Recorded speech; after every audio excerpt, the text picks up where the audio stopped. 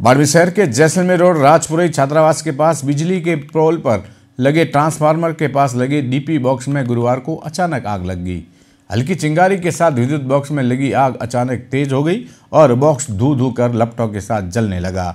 सूचना के बाद मौके पर डिस्कॉम की टीम पहुँची और आग पर काबू पाया। बाड़मेर शहर के जैसलमेर रोड राजपुरी छात्रावास के पास बिजली के पोल पर लगे ट्रांसफार्मर के पास लगे डीपी बॉक्स में गुरुवार को अचानक आग लग गई। हल्की चिंगारी के साथ विद्युत बॉक्स में लगी आग अचानक तेज हो गई और बॉक्स धू धू कर लपटों के साथ जलने लगा। सूचना के बाद मौके पर डिस्कॉम की टीम पहुँची और आग पर काबू पाया।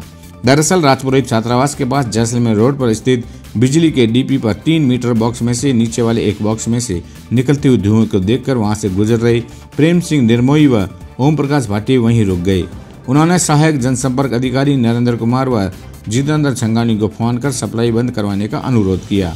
तब तक बॉक्स में से आग की लपटे व धमाके होने लगे। तुरंत आनंद फानंद में नीचे बिखरी रेत लेकर फेंकने लगे, जिससे आग हल्की पड़ी मगर बुझी नहीं और धुआँ फैलता गया। सप्लाई बंद होने तक कई और लोग भी वहाँ पहुँच गए। सूचना के बाद डिस्कॉम की टीम मौके पर पहुँची और आग पर काबू पाया।